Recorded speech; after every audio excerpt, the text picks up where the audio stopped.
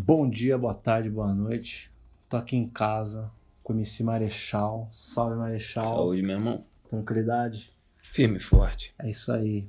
Estamos aqui com cara de cansado, porque estamos cansados. O Marechal acabou de fazer um show da hora no Tatu Rap Festival em Piracicaba. E vamos fazer um bate-papo aqui sobre criatividade, composição, ideia, certo? Vamos. Fala um pouquinho pra nós. Quando você começou o código e o que é? Cara, assim, é difícil especificar a parada do código porque é mais uma palavra que define realmente, é um código sobre o código, né? Podemos dizer assim. É, o que a gente acredita ser uma conduta interessante de vida. Então, são várias pessoas que são estudiosas de filosofia e de outros tipos de, de, de ideias assim que a gente acredita ser interessante e desenvolve um como se fosse um código de conduta na vida mesmo, com a reflexão em cima do que a gente acredita ser interessante para a harmonia em geral e para a gente também se aperfeiçoar cada vez mais. A gente usa muito a parada que, pô, para muitas coisas do que a gente quer fazer, a gente precisa chegar num nível olímpico das coisas, sabe? Sim. Isso é uma das. Sempre tem umas referências, assim. Eu uma vez eu li o livro do, do Michael Phelps, que eu achei bem maneiro, que ele fala sobre essa parada assim, qual era o ritmo de treinamento do cara, sabe? Cinco anos seguidos, sem deixar um dia de ir na piscina, independente do dia que fosse. Eu não acho que isso é 100% saudável, mas uhum. eu acho que para você alcançar o nível Michael Phelps talvez seja necessário. Sim. Então você saber dosar isso, isso estaria dentro do código, sabe? Você, pô, ser uma pessoa que compreende coisas é, que nem sempre são 100% a seu favor, mas que aquilo é melhor para a harmonia, eu acho que isso estaria dentro do código. Uhum. É, forma de se alimentar melhor, de se exercitar, de estar tá, não só pela estética, mas pela estética também, tá? Porque eu acredito que a estética faz parte da vida também, você conhece, sem, sem preconceito, nem contra nem a favor da estética, entendeu? Uhum. Tipo, são coisas da vida, assim, que se a gente acredita que pode se sentir bem e fazer o outro se sentir bem, isso está dentro do código. Sim. É, a gente poderia dizer que são hábitos para um estilo de vida de masterizar uma, uma habilidade que você quer desenvolver. É, algumas habilidades que tenha o maior propósito de a favor da harmonia, assim, de uhum. se não, se você tem pessoas que podem masterizar a arte, sei lá, mano, esquartejamentos, agora isso não estaria dentro do código, entendeu, mano? Sim. Não acho que isso seria uma coisa interessante pro mundo. Uhum. Então, isso dentro do nosso código estaria fora, né? Sim, tem que ter um, um bem coletivo. Eu, um bem eu gosto, eu, eu gosto de pensar dessa forma, que a harmonia mesmo, tipo, uma coisa que seja pro meu proveito, mas que seja pro proveito do outro também, eu acho que é mais interessante, tipo, plantar mesmo e uhum. descobrir novas técnicas que foram esquecidas, né? Tem muita sabedoria, sabedoria antiga que foi esquecida, então uhum estudar a sabedoria antiga também é parte do que a gente acredita. Pra Sim. gente chegar numa, numa forma assim. Acho que a, a, palavra atual de, de gíria seria o lifestyle, uhum. né? Um lifestyle codificado. Uhum. Legal. Mas sem, sem propor isso para outros, não, mano. Mas.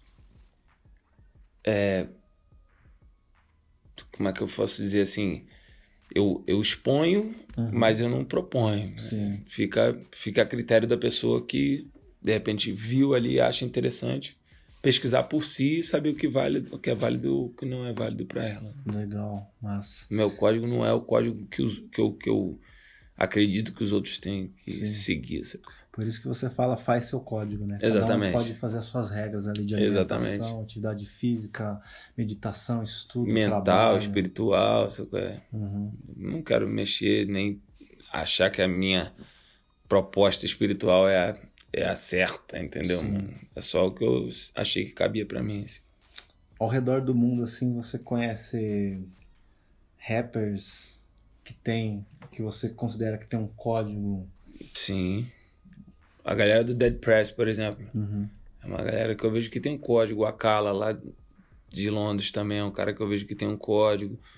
E deve ter milhares de caras também, porque normalmente a galera que é do, que pratica um código assim não é muito o mais talvez propagado, né, mano? Sim. E isso é normal. A propaganda ela costuma jogar aquilo que é um pouco mais sensacionalista. Né? Sim. É o que vende e também está dentro do código da propaganda. Não posso Sim. mexer no código da, do mercado da propaganda. Respeito o mercado da propaganda. Só não faço parte. Talvez por isso não tenhamos tanto reconhecimento daquilo, mas é porque normal. Não, não, não quero ter o reconhecimento de quem pratica outras coisas, porque seria incoerente, né? Uhum. Seria como que eu posso ter o reconhecimento de, de um jogador de futebol se eu sou enxadrista, sabe qual é? Uhum. Né? Os dois são artes, são artes que eu aprecio. Por exemplo, agora, nesse exato momento, tá rolando o campeonato de xadrez, né? A final, uhum. final do campeonato mundial de xadrez e poucas pessoas estão assistindo, menos uhum. do que talvez o Campeonato Brasileiro, mas Sim. não deixa de estar tá rolando e, pô, uhum. existe o mercado daquilo também, uhum. existe o código da galera do xadrez Sim. que tá lá vendo lá pela internet. Quando a gente tava conversando hoje, a gente falou, usou o exemplo do Michael Jordan como um código de alguém que tinha muitos motivos para não ser nenhum jogador profissional e se tornou a maior referência no basquete. Sim. O que queria que você falasse assim um pouco. Às vezes eu vejo a molecada perguntar para mim sobre talento, ter talento, não ter talento. Você acha que, que você o que, que você acha que é ter talento para algo ou não ter? Como no nosso caso o rap. Então, talento, mano, é Nesse, nesse mesmo livro do Michael Phelps, o, o cara fala assim: pô, eu achava que o Michael tinha um talento para nadar, porque a estrutura física dele era positiva para aquele. Tipo um cara ser mais baixo e ser jockey, sabe? Uhum. Isso seria um talento, mais ou menos, né? Uhum. Se você tiver 2,30 metros e, 30 e ser jockey, é difícil, tá uhum. ligado? Sim. Então é realmente você não tem talento. Mas de resto, mano, se eu acho que o maior, a maior coisa que você tem que conquistar é a disciplina. Sim. Até porque o código presume que você pode sair de um estado de saber fazer algo e, e ir para um próximo nível, né? Independente do quão genético você foi é. beneficiado. Assim, você vai ter mais dificuldade se você for, sei lá, um Muggsy Boggs na NBA, né? O cara, uhum. pra quem não conhece o Muggsy Boggs, ele tinha acho que 1,64 jogava na NBA. É muito mais difícil, e, mas é possível ainda, mas sabe que vai ser mais difícil. E talvez não seja um Michael Jordan, uhum. mas que vai estar tá lá praticando o código dele e pô, jogando na NBA mesmo, não tendo aquele talento da, da altura. Né? Uhum. Mas mesmo assim é possível. E eu conheço mais pessoas disciplinadas que conseguiram ter êxito no que fazem do que pessoas talentosas. Essa, você já matou a próxima pergunta que eu ia perguntar para você. o que, que, pesa mais, na sua opinião? O talento Sim. ou o trabalho duro? E geralmente. Não, o trabalho. Então, irmão, o trabalho. Porque o trabalho duro não necessariamente é o mais recompensado. Eu acho que o trabalho inteligente. Sim. Né? Sim. Tipo, o, o, menor esforço, maior resultado. Não no, no quesito de, de pouco esforço mas que sim, com, sim. O que, pouca projeção. O que, é, porque, por exemplo, a gente tem uma pedra de, sei lá, 200 quilos. Se você puder partir ela pelo menos em 10 de 20, você vai chegar mais rápido. Se, se não, vai demorar para tu chegar um, com 200 um quilos. trabalho inteligente. É, se você não precisa daquela pedra de 200 quilos. e aí, se você precisa daquela pedra, não sei, não sei como é que os caras fizeram a pirâmide, mas vamos dizer que você tem que chamar alguns amigos e até saber. Aí tem outros trabalhos, né? Trabalho emocional. Como que vai, você vai convencer alguns amigos a carregar uma pedra de 200 quilos, tá ligado? Falando para eles que você vai construir uma pirâmide. Imagina, você. Uhum há 5 mil anos atrás, em nosso amigo Faraó Garnett, lá em Gizé, sei lá onde, qual é? Chegou e falou: Então, irmão, tô pensando em construir uma parada aí, mano. A gente tem que carregar 3.500 pedras, sei lá quantas, né? 300 mil pedras. Você vai ter que ter um talento da, da convivência, talento da relação, talento da negociação para convencer outras pessoas Espero que as pessoas tenham compreendido a metáfora, né, mano? Porque ninguém tá aqui a favor de loucuras, mas só para você entender que tem coisas que você consegue só com o auxílio de outras pessoas, porque são coisas muito pesadas. Sim. Daí vem um talento, um talento Um- social. O Michael Phelps, para estar todo dia na piscina aprimorando, era necessário um técnico, entendeu? Uhum, Foi até o cara que descobriu ele, né? uhum. Então, reformulando a, do, o ponto onde a gente partiu, trabalho inteligente, trabalho bem pensado, bem arquitetado, versus talento. Você conhece mais pessoas que trabalham inteligente tendo resultado do que talentosas. Com certeza, E com certeza. eu, ve, eu vejo, eu penso assim também, que. E também os mais talentosos, às vezes, se não conhece, se não tem o seu próprio código, se acomodam no seu talento. Enquanto o, o que consegue trabalhar inteligente vai ali devagar aprimorando. Muitas vezes tem, um- tem um destaque momentâneo, Sim. mas não consegue ter aquele rendimento de constância tão, tão longo quanto uma pessoa disciplinada que de repente é tipo o pico é assim, né? Tem uma hora que a disciplina passa. assim. Uma hora que, que ele se cruza. Se o cara souber, é lógico, se manter estudando, né? Sim, Porque tem uma hora que o cara se acomoda também, às vezes, infelizmente. sim. Tem, e, e tem os platôs também, né? Tem que se adaptar às fases que não cresce e também não cai. A pessoa entender que Faz parte Quanto do mais- crescimento. faz parte do Só de crescimento, você não estar caindo crescimento, já tá é. crescendo. Tem aquela máxima: quanto mais treinado, menos treinável. Quanto Uhum. melhor você fica, Maneiro. difícil você vai melhorar mais, porque boa. você já tá ali. Então tem esses tempos de estagnação. Se o cara. Tem, tem um cara, acho que é o Josh Kaufman, cara. Não tenho certeza se o nome é esse, mas. Ele fez um livro que chama As Primeiras 20 Horas, já viu esse livro? Não. Ele, ele é um cara maneiro, assim. Ele fala que se você treinar qualquer coisa durante 20 horas, você já sabe mais do que 80% da população sobre aquilo. Então, sei lá, mano, você treina 20 horas sobre como fazer o melhor café, mais do que 80% você já sabe. Então, Uhum. só se você sabe mais do que 80%, você já é quase capaz de ensinar. Sim. Então, pô, em 20 horas você consegue treinar uma habilidade que você já pode passar pra frente, sabe? Sim. Que é interessante, mas só que depois, para você passar desses 20%, aí eu já não sei quantas horas são. né, Eu já ouvi falar da- das 10 mil horas em qualquer prática, né? Que isso, numa frequência de 4 horas por dia, vai levar uns bons anos. É. E você tá há quantos anos sem é, escrevendo todos os dias? Muito tempo. Muito tempo. É, Já deixei de escrever alguns dias, mas. Sem... Assim, várias horas, né? Mas escrever mesmo todo dia, pelo menos uma linha, eu escrevo. Aham. Uns 20 anos aí, pelo menos. Não linha de Twitter, não. Não, linha de rap. É, Com algum critério, né? não é qualquer linha também. É, você. eu escrevo algumas linhas qualquer, às vezes para chegar naquela que eu quero. Eu muitas vezes eu escrevo já sabendo que eu vou mudar, sacou? Mas pelo menos para passar daquela fase ali e depois voltar nela. Sim. Tem coisas que só fazem eu mudar lá na frente. Existe esse cuidado assim de o, o futuro responder aquilo que eu sabia que já ia ser alterado. Sim. Só pelo menos para não perder o processo. É, pra não perder o enredo, né? Porque muitas vezes eu escrevo já sabendo o que eu quero escrever. Aí depois é só entender qual a melhor forma de falar isso e eu faço isso muito de forma de freestyle, assim, não, não escrevo depois canto, eu vou cantando e falo, pô, isso é legal, eu escrevo, entendeu? Sim. Não sei se isso é normal, mas eu faço mais assim do que ao contrário. Ah, me, então me descreve brevemente, em geral, como é que é o seu processo desde as primeiras ideias até quando você costuma finalizar um projeto. Normalmente, quando eu, eu tenho. crio alguma ideia básica. Por exemplo, tem uma música que eu falo é.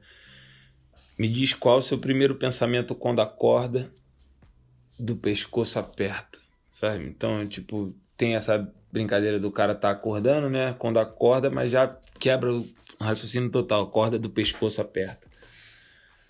Um duplo, um duplo sentido. É, duplo sentido já, tipo, mudando mesmo de sentido, né? O uhum. cara tá uhum. tranquilão, tá acordando, não, peraí, mano, tô é, sendo enforcado. É, não é só duplo, como é oposto. É. Tipo uma antítese, né? uma hum. coisa contraria a outra. Exatamente. Uhum. Já te dá uma trava mesmo, né? Que tem a ver com a corda. Sim. E que tem a ver com acordar, já é um despertar, entendeu? Sim. Tem toda essa. Eu gosto de e quem ter. Acorda tá ali e não sabe. Exatamente. andando e não sabe quando vai ter o buraco e vai. Exatamente. Aí a continuação disso é, é. Me diz qual o seu primeiro pensamento quando acorda, do pescoço aperta Perdi mais irmãs para mágoas do que para drogas. Faço minhas obras até levar, até levar as primas para a biblioteca.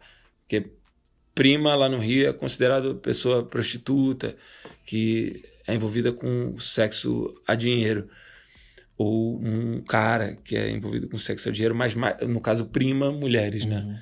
Então, aí perdi mais irmãs para mágoas do que para droga, tipo, né? Muito mais para depressão, muito mais para situação que tá ali. Sim.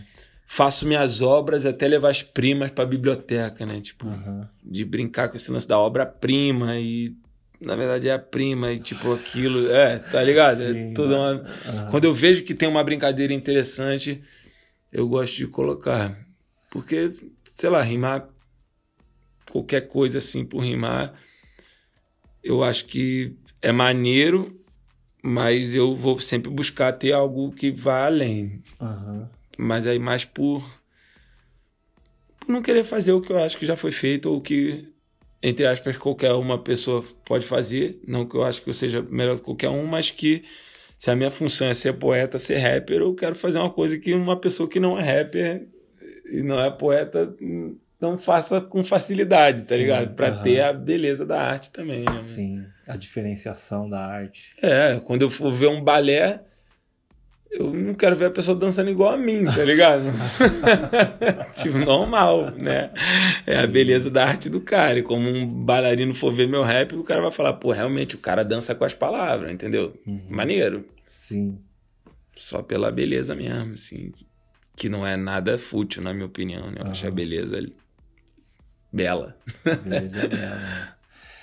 É, faz parte do meu código ensinar, porque quando você falou das horas para poder, as primeiras horas para poder ensinar, porque quando eu ensino é quando eu aprendo uhum. profundamente. Por isso que eu gosto de, de um pouco da, do ofício de ensinar. Uhum. E para mim, o ápice do, do rap game, game, eu falo das palavras, não uhum. do, do, comercial, seria Por causa atingir, do wordplay. Do wordplay, uhum. é. Seria atingir essa, essa coisa da... Contar uma história foda, com começo, meio e fim, e tá ali brincando com as palavras com excelência. Uhum. Que eu acho que dificilmente a gente faz as duas coisas juntos. Uhum. Né? Ou você tá correndo uma maratona de boinha, ou você dá um pique de 100 metros. Mas tem alguns uhum. casos, tem alguns casos que eu admiro por isso, tipo o Sunday Kid. Uhum. Eu acho que ele faz bem isso. É, Hoje. Hoje. Você. Não sei se eu conto tão bem a história, mas porque eu acho que eu valorizo mais a emoção mesmo. Uhum. Então, muitas vezes eu perco a rima pela emoção, porque eu valorizo mais a emoção, só por causa disso. Sim. É... Porque eu sinto muitas faltas de emoção em algumas rimas muito bem elaboradas. Sim, isso aí é um grande problema. Né? É, é, o, é o meu desafio, uhum. confessando. Porque chegando no show, mano, que é a parte mais importante, eu acho, da entrega, né? Ainda mais pra mim que não tem disco, né? Mas é, é a parte onde você tá ali, mano você fez mesmo a parada ali. Se hoje fosse o último show, eu ia ficar satisfeito. Eu acho que fiz uma boa performance, apresentei músicas interessantes, independente se a pessoa conhecia ou não. Tinha criança lá, tinha pessoas mais de idade. Pessoa falando, pô, não conhecia rap, mas achei legal o seu trabalho. E confesso também que eu não posso virar pra pessoa e falar assim, não, curte rap porque é mais ou menos assim. Não é, tá ligado? Mano? É verdade, mano. Tipo assim, não é Sim. qualquer coisa que eu possa recomendar pra uma pessoa de mais de 50 anos ouvir, que eu sei que ela vai entender e sentir. Sim. Ela pode ficar meio perdida no meio do rap game, como você falou, uhum. ou do wordplay demais, e uhum. tipo, ou então as fantasias que as pessoas criam, Uhum. que é legal, mas que às vezes é. Eu sinto que é mais, um, mais uma, um seriado, um Netflix dentro da música do que realmente a realidade. E tudo bem, mano. É a proposta da pessoa, né? Uhum. Mas nem sempre isso é explicado. E, é, né? e a pessoa tenta passar como se fosse a vida real e não é. Sim. E aí eu acho que você confunde as pessoas. Confundir as pessoas não está no meu propósito. Então também não posso recomendar 100% muitos outros artistas de rap, tirando os que eu confio mais, Uhum. que posso citar assim, mas não, sei lá, Rashid, Santi, Uhum. as pessoas que eu que eu vejo que tem ali uma coerência na vida, na, na conduta. Uhum. E tem outros também, mas tipo. Porque não é, não é porque eu não. Não. Não, não recomende que eu não reconheça e nem concorde. É só uma coisa que eu falo, pô, mas se a pessoa tá ali, gostou do que eu faço, eu vou falar, ó, do que, do que você achou legal, por aqui dá para seguir. Teste os outros também e vê qual é essa, qual é. Vê se acha legal. Porque recomendar é igual compartilhar, né? Quando você compartilha nas redes sociais, a pessoa Sim, entende que você tá não, legitimando. né? Você tá legitimando, é o que você assiste, é o que você recomenda. Às vezes você só curte. Tipo, Exatamente. Eu curto pra mim, porque eu tenho tal formação e curto aqui, mas não é uma coisa que eu fico falando pros outros que eu curto, né? Quando você. É, é isso, você tá legitimando. Enfim, é, isso é muito. É muito definitivo para as pessoas que você legitima Uhum. alguma coisa, né? Você falou de entrega, né? Essa questão da sua entrega no show. Uhum, Entrega é algo que, que é um desafio para mim também. uhum. É, Então eu entendo entrega assim como o cara que às vezes tira aquela, o que ele pôs no papel ou ele pôs no estúdio, se é no caso do show, e ele consegue colocar com emoção, com, com tom, com uma personalidade, com uma performance, com o corpo, tudo ao mesmo tempo ali e Uhum. entregando da melhor forma. No Brasil hoje, tipo, tem artistas de rap que você acha que se você que você admira a entrega? Tem, pô. Eu não vejo muitos shows, tá ligado? Uhum. Mas eu gosto muito do Jonga. Gosto muito do Santi. É, eu acho que eu faço esse trabalho muito bem. E nem, nem todos os artistas eles sabem, às vezes, manipular o microfone. Tem gente que é melhor na entrega do que na música, na gravação. Uhum. Tem artistas que são super super incríveis ao vivo assim, de freestyle também, mas que de repente não tem aquela aquela experiência de fazer uma música, de compor e conseguir colocar uma coisa que não seja aquele visceral ali na hora, sabe? Esse híbrido assim é é difícil. Não, é assim, é difícil, é difícil, mas não é uma coisa muito comum também. Então, mas tem, tem, mano. E vai ter cada vez mais, porque cada vez mais as coisas estão um pouco mais disponíveis assim para as pessoas entenderem e, e estudarem, né? Uhum. Acho que com o tempo vai ter cada vez mais, talvez cada vez menos reconhecidos, porque tem muita coisa também que está sendo mais a imagem do que do que exatamente a música, mas existe o público para isso e existe o público da mensagem também, sem sem problema nenhum, assim. Não, não, não afeta o outro, não. É, confunde um pouco, mas de alguma forma, tipo, se nossa função é tentar esclarecer algumas coisas e mostrar um, um caminho ali, talvez as pessoas confusas sejam as pessoas que mais são afetadas por isso depois, sabe? Uhum. Então vira quase que uma vantagem, entre aspas, ter coisas que confundam, porque a gente também age desconfundindo, talvez. Sim. Não que nós estejamos certos ou errados, porque confundir é bom pra caramba, porque te dá mais leque de opções, né? Uhum.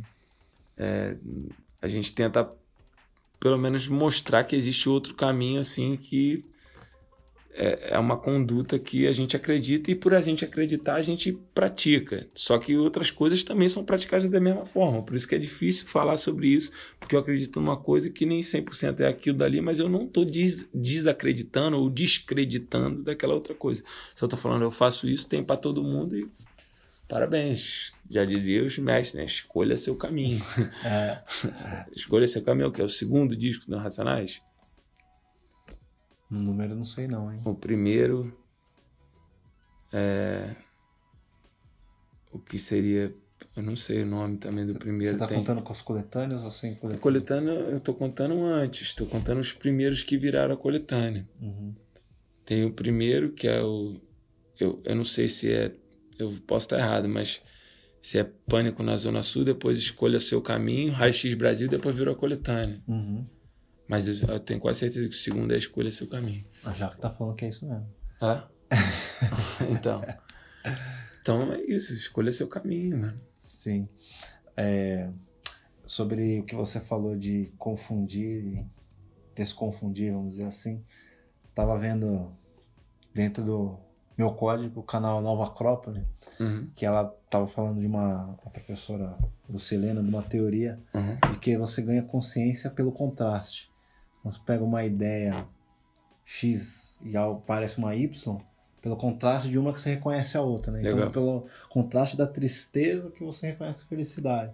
Uhum. Então, acho que está muito no sentido de que o, a importância dos opostos para você entender o outro lado. Sim. E aí você ir organizando a sua consciência do que você quer. Sem dúvida. Esse canal é irado, mano. Tipo, é. esse é um canal e é uma super proposta, né? Uhum. Nova Acrópole, eu acho que são 200 Nova Acrópole só no Brasil ou 200 no mundo. Eles têm espaços de filosofia e todo mundo trabalha voluntariamente. É uma parada bem. Eu sempre peço indicações do, dos, dos artistas, então já fica uma indicação mútuo aí, é. Nova canal Nova Acrópole. a pessoa que a gente acompanha mais, eu pelo menos, é a Luceliana Galvão. Eu também. A Jaque também. É. é muito legal, é muito bom. Direcionado para filosofia minha, bem Sim. interessante. E é legal que é uma filosofia na vida prática, né? Ela pega uma coisa da vida prática, por exemplo, ah, vamos falar de afetos, segundo a filosofia, vamos falar de sei lá, saudade, segundo a filosofia, jornada do, do herói. E tá interessante que ela agora tá sendo bem reconhecida, tá ligado? a galera tá, tipo, já se ligou mesmo, e aí chama ela para dar entrevista. É isso aí mesmo, cara. Sim. Tem que propagar esse tipo de ideia. É. Não é que as outras não tenham que ser propagadas, mas que eu acredito no equilíbrio, na harmonia. Eu acho Sim. que todo mundo merece o espaço para difundir suas ideias. Mas, logicamente, ideias mais complexas serão mais dificilmente degustadas. Então vão ter mais atenção para a ideia menos complexa sempre. Sim. Que isso faz parte justamente da complexidade. a gente poderia falar sobre filosofia aqui, mas vamos continuar no vamos rap. Continuar no rap. vamos voltar para onde a gente pulou. Seu processo em geral. É, então, cara, não, não existe um processo, mas existe, né? Uhum que é o processo é senta e escreve, irmão. Só existe esse, Fala na verdade. aquela frase que você falou uma vez para mim, escreva como escreva como se é, como é que é? É é porque essa frase é em inglês, né? Uhum. É, é write without é, cara eu falei essa frase pra você, né? Esqueci. Eu tenho isso colado no estúdio, cara. Es escreva sem, sem limite, escreva sem, sem não, piedade. É, escreva sem medo, edite sem piedade. Write, write without fear, edit without mercy. É isso aí mesmo. escreva sem medo, edite, edite sem, sem piedade. piedade. Isso se você tiver tempo, mas para você fazer seu tempo, quanto mais você escreve, mais você vai ter o que editar e eu acho o mais difícil de tudo, na verdade, o critério, cara. Tipo, qualquer um pode escrever qualquer coisa. É, até no primeiro de abril tem. Naquele clipe primeiro de abril tem vários inserts ali de código ali, tá ligado? Tem um que é tipo, pô, o problema não é escrever, o problema é deixar escrito, tá ligado? Uhum. Que tem a brincadeira de deixar escrito na história, mas na verdade você já escreveu e você não apagar, que é o problema, tá ligado? Sim, é. Você achar que aquilo é válido durante mais tempo, né? Sim, porque, porque pelo menos no início de quem começa nesse, nesse trabalho de escrever, existe um juiz interno, tipo, ah, não escreve isso, vão achar isso e tal. E, né, eu entendo uhum. escrever sem medo, tipo, coloca no papel mesmo, não importa o que, o que vão achar, escreve para você é. primeiro. Eu fico mais preocupado com o que não vão achar. Falo, pô, essa aqui tá bolada, mas ninguém vai perceber essa rima. Às vezes rola, tá ligado? Tem caras que fazem muitas dessas boas. BK é bom pra caramba nisso. Você fala, cara, ele. Não sei se todo mundo sacou que ele fez aquilo dali. Isso é maneiro. Santi também. É, é bom, mano. É, é, a, é a arte da parada mesmo, a brincadeira da. Então, Aí, mano, se você entrar filosoficamente na arte, não serve pra nada, tá ligado, mano? Mas é legal, pô. A vida é isso aí, mano. A vida é a gente aqui. Estamos aqui maneiro, por acaso, pô, a gente tem o privilégio de estar perto da natureza aqui, batata doce crescendo, tá ligado? É isso aí, mano. Café disponível. Tem arte também, né? É, exatamente. Que aí, dependendo da pessoa que for considerar vai falar que, pô, mas a rosa, não sei o que, todo mundo já fez. Pô, mas você não sabe nem quem fez, tá ligado? Cala a boca, tá ligado? tipo, tudo é, é, é sujeito a, a, discussões, né, mano? Eu Sim, tô longe dessa, desse julgamento. Uhum. Eu prefiro, assim, prefiro ouvir o que tá funcionando ali para mim naquele momento, pelo que eu acredito que tá sendo legal e o que não tá sendo legal faz outro, mano. Sem, sem piedade, sem pudor e sem apreço demais as coisas, sabe? Aí o cara fala, pô, mas olha quem tá falando, você é perfeccionista pra caralho. Sou perfeccionista, mano, mas eu não sou ciumento. Uhum. Não sou tipo, ah, pô, mas isso aqui eu, mexi, eu fiz, não vou mexer. Pelo contrário, mano. Eu vou mexer, inclusive vou gravar o disco e provavelmente depois eu vou tirar o disco online e vou falar, não tava legal, foda-se. Vou gravar outro. É isso aí, tá ligado, mano? Tipo, normal. É bem possível isso acontecer. E não tô nem aí, mano. Vai ser maneiro também. Sou eu, pelo menos sou eu, tá ligado? Sim. Não é porque daqui a cinco anos eu falar, pô, acho que eu não falei uma parada maneira ali, não. Vou tirar essa porra, foda-se. Sim. Cara, pô, mas essa sua história, pô, meu irmão, minha história, mano. Que, que, o que, que é minha história, cara? Na moral, o que, que é minha história? A maioria dos historiadores, desculpa aí os historiadores, a maioria dos historiadores é mentiroso, não sabe nada do que aconteceu. Como a maioria do rap não sabe rimar, e é isso aí, cara. tá ligado? Muitas maiorias não sabem fazer as coisas, mano. Mas, resumindo, como muitas maiorias não sabem o que estão fazendo, independente do que estão fazendo. Então, cara, eu acho que tem menos pessoas que conseguem aprimorar aquilo que fazem. Então, tipo, com certeza existe o um especialista em ovo frito, tá ligado? Mas são poucos, tá ligado? Mas a gente não vai nem saber distinguir às vezes, entendeu, mano? Que são as coisas mais básicas de fazer. Essa, o Black ele que tem uma rima foda, né? Suas rimas são receita de ovo frito. É engraçado, entendeu? Ao mesmo tempo que seja uma batalha, isso é foda no rap também, né? Você tá falando mal do outro, tá falando que o outro faz porra nenhuma, que o outro é inferior. Mas é uma brincadeira, né? Suas rimas são receita de ovo frito. É, acho, acho, que até uma brincadeira para quebrar, para saber como lidar com ego. Uhum. Porque acho que a batalha tem muito isso. Você reconhece e tem os defeitos reconhecidos e tá tudo bem. E o jogo segue. Uhum. Segue lidando com as palavras. É... Gostaria que você falasse, se você estivesse começando hoje, como que o Marechal lançaria suas músicas se o Marechal estivesse começando hoje sem público? Sim. Uh... Falar duas coisas completamente antagônicas, mas vou da mesma forma que eu comecei e de totalmente diferente. Porque da mesma forma como? Eu vou pegar e rimar, mano. É pegar e rimar na rua. Quando você é bom, na rua as pessoas olham e falam: esse maluco é bom.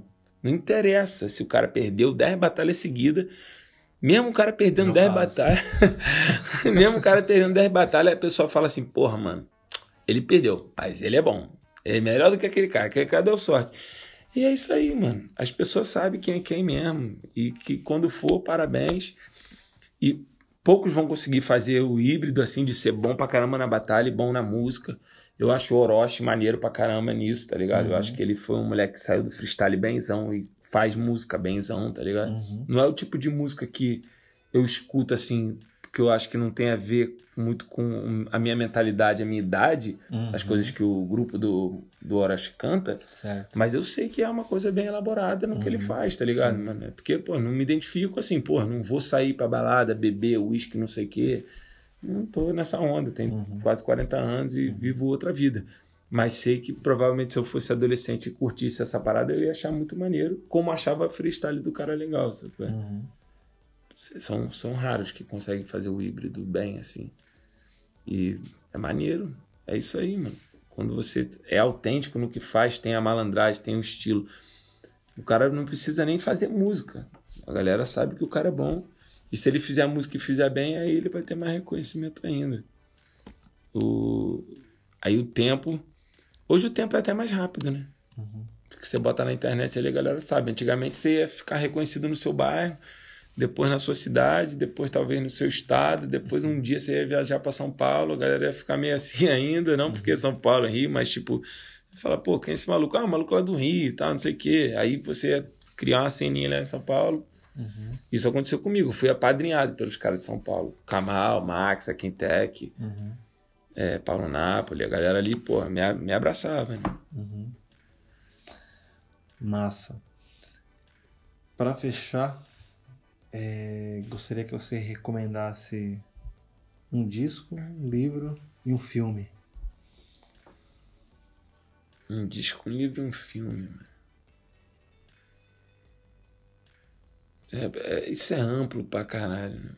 Normalmente eu ia perguntar pra pessoa que, que em que estágio da vida que ela tava para saber que disco eu poderia recomendar. Mas se ela quiser saber de de rap,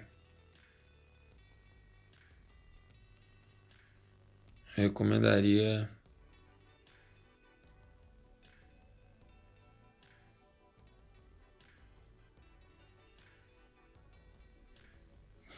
Tava provavelmente sobrevivendo no inferno, Racionais. Uhum. É, um livro. Aí já é puxar para outro lado, já ia falar sobre algum livro do Osho, talvez. Uhum. A arte de silenciar a mente, alguma coisa desse tipo deve ter. Uhum. Acho que tem um que é, que é esse. Tem um que chama Barco Vazio, que é muito bom. Uhum. E um filme. Se o cara quiser saber de hip hop, eu acho eu recomendaria aquela série Hip Hop Evolution do Netflix hoje em dia talvez seria uma coisa atual para a pessoa ver, pelo menos se inteirar da cultura toda, assim. É, mas isso é infinito, né, mano?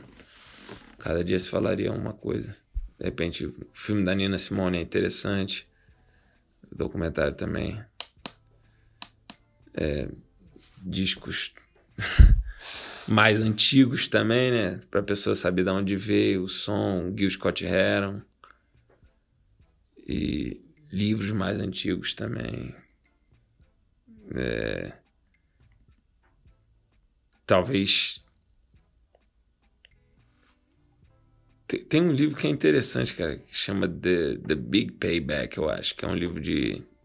Fala do, de, como os negócios entraram no hip hop, tá ligado? Uhum. Que é maneiro, vai mostrando as primeiras pessoas que ganharam dinheiro fazendo uma festa ali, como que aquilo se transformou até chegar na indústria que é hoje. É interessante esse livro. Acho que o cara que chama, escreveu chama Dan Channers. Isso aí a gente pode falar a vida toda, mano. Porque todo dia tá lendo um livro diferente. Tem um livro que eu tô lendo agora, que eu vim lendo no avião, que chama The Artist Way, que é maneiro, que eu vi o J. Cole recomendar numa entrevista. Uhum.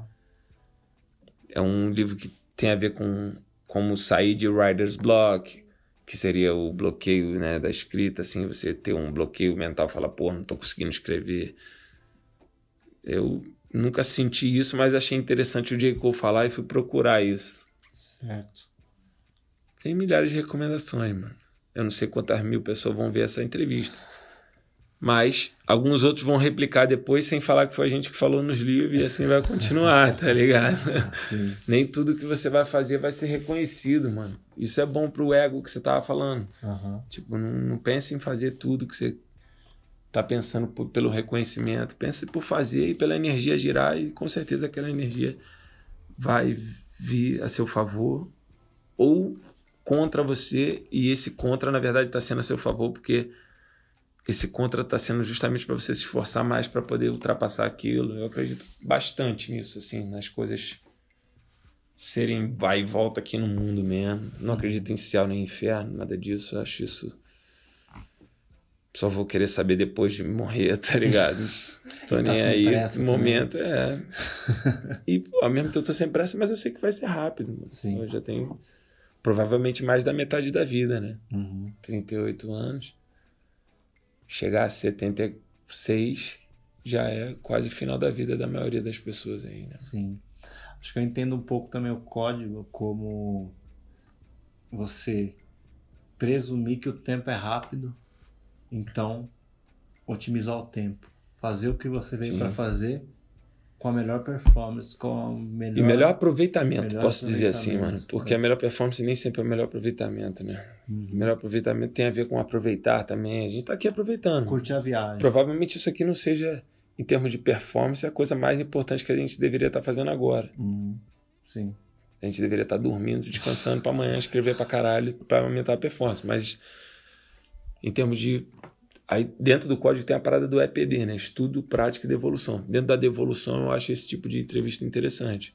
Passar para as pessoas, porque ninguém sabe, morreu amanhã, pelo menos ficou umas ideias vagas, né? Sim. Avião tremeu pra caralho ontem. e poderia ter morrido, mas. É, e eu também não tô nem aí, mano. Morrer, acho tranquilão também. é, nunca tive medo de morrer, nunca tive vontade de me matar. Acho que isso aí as pessoas têm que pensar bastante nisso, ainda mais nesse momento. Tem muitas pessoas depressivas. Eu fico triste, né? Porque eu, eu vejo tantos motivos para viver essa coisa, mano. Sim. E sei que, lógico, tem pessoas que sofrem bastante, mas que, pô, mano, vamos dar uma perspectiva aí pra, pra parte boa da vida, cara. A gente tá vivendo num momento interessante pra caramba do mundo. Se a gente vivesse, vivesse aí na Idade Média aí, ou numa outra época, ia estar tá mais complicado, na minha opinião, tá ligado, mano? Em todos os aspectos. Então, tá ruim? Não sei se tá ruim. É, pode melhorar? Pode melhorar. Mas eu, na minha concepção e pelo que eu entendo de história, devido a alguns historiadores também, já vi que tava pior antigamente, cara. Sim já tranquilamente já vivemos épocas piores da humanidade, acho que, humanidade. Eu acho que essa é a melhor época da humanidade, sem dúvida. Uhum. Sem dúvida. Sim. Principalmente de informação. Sim, show. É, a última saideira, eu perguntei pro Kamal, perguntar para você, né? Eu perguntei para ele o que, uh, o que ele recomenda quem tá começando a escrever, no caso rap, o que ele recomenda que essas pessoas busquem para para terem su sucesso, felicidade no processo de escrever os seus, seus primeiros raps? Hum.